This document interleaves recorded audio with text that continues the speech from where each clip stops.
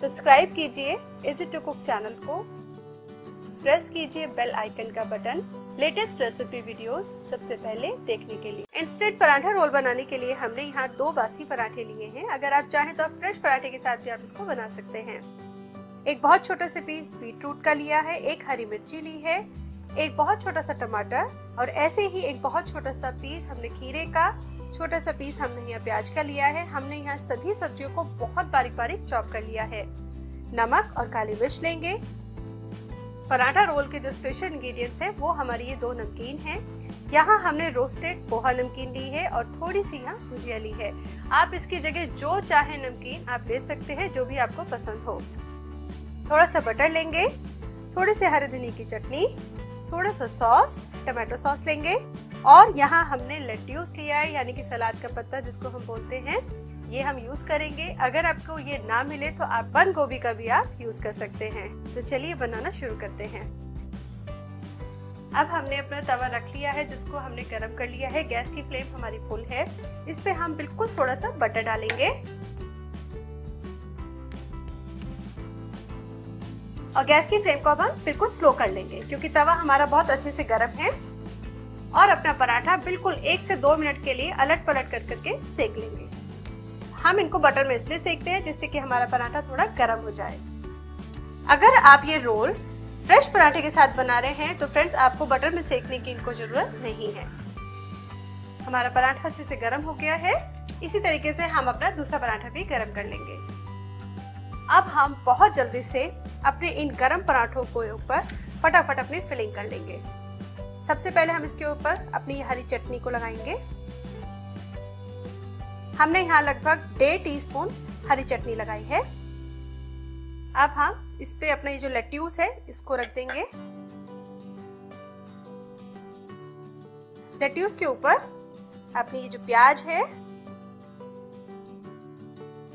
खीरा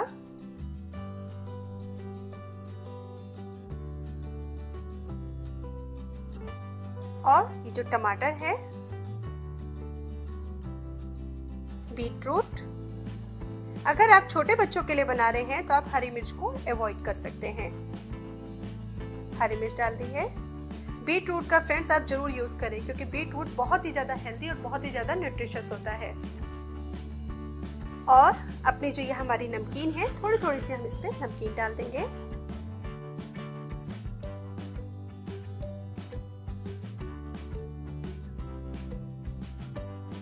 ये दूसरी नमकीन डाल देंगे।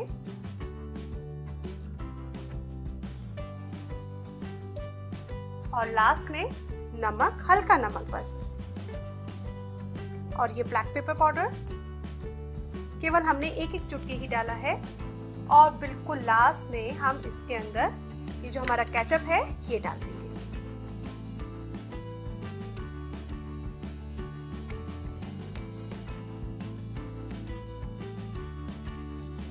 तरीके से डालकर हम अपने पराठे को फोल्ड कर देंगे।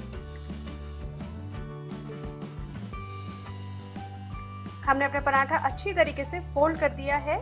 अब हम इसको इमिडिएटली अभी के अभी, इसको हम अपने फॉइल में पैक कर देंगे। क्योंकि हमारा ये बहुत ज़्यादा स्टफिंग है, इसीलिए आप इसको बहुत ध्यान से रखिएगा अपने फॉइल के अंदर। इस तरीके से, जिससे कि अगर इसकी फिलिंग निकल भी जाए तो वो सब अंदर ही रहे। इसको ऐसे फोल्ड करेंगे और ऐसे नीचे से इसको बिल्कुल अच्छी तरीके से पैक कर देंगे। और हमारा ये तैयार हो गया इंस्टेंट पराठा रोल जो कि बहुत ज़्यादा हेल्दी है और न्यूट्रिशियस है। इसी तरीके से हम अपना दूसरा पराठा भी रोल भी तैयार कर लेंगे।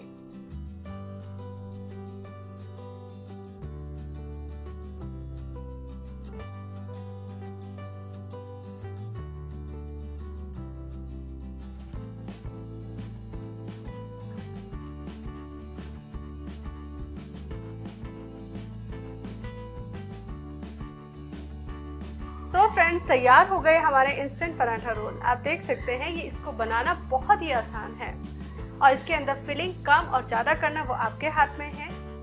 जैसे चाहें आप इसकी फिलिंग कर सकते हैं। सो so फ्रेंड्स अगर आपको हमारी ये इंस्टेंट पराठा रोल की रेसिपी पसंद आई हो तो प्लीज़ आप इसको लाइक करें, अपने कमेंट्स हमारे साथ ज़रूर शेयर करें। Thanks for watching